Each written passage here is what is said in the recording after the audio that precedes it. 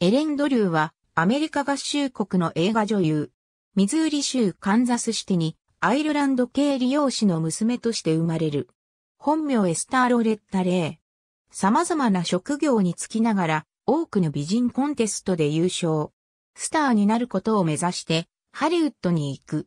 アイスクリーム店で働いていた時、客の一人だった俳優のウィリアム・デマレストに見出され、映画界入り。テリー・レという芸名でデビューしようとしたら、同名の男性俳優がいた。競技の結果、帽子でくじを引いて、どちらかが名前を変更することになり、負けた男優のテリー・レイは、テリー・レインズに勝った彼女はそのまま、テリー・レイの名前でデビューした。その名前で25本の映画に出演した後、エレンドリューに改名。1938年から1944年にかけてパラマウント映画専属として年6本の映画に出演。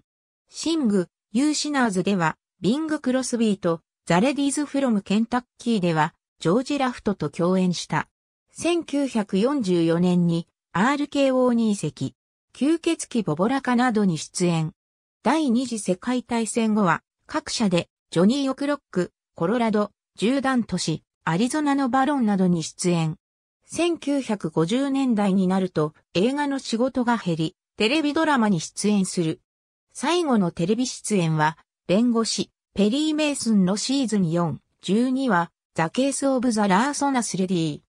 映画、テレビ以外では1943年7月25日に CBS ラジオのシルバーシアターのラジオドラマ、チャイナ・ブリッジでプレストン・フォスターと共演。私生活では4度の結婚。2度目の結婚は脚本家のサイバートレットとで、1941年8月16日、ネバダ州タホコで挙式した。2003年12月3日、カリフォルニア州パームデザートで肝臓病のため死去。88歳だった。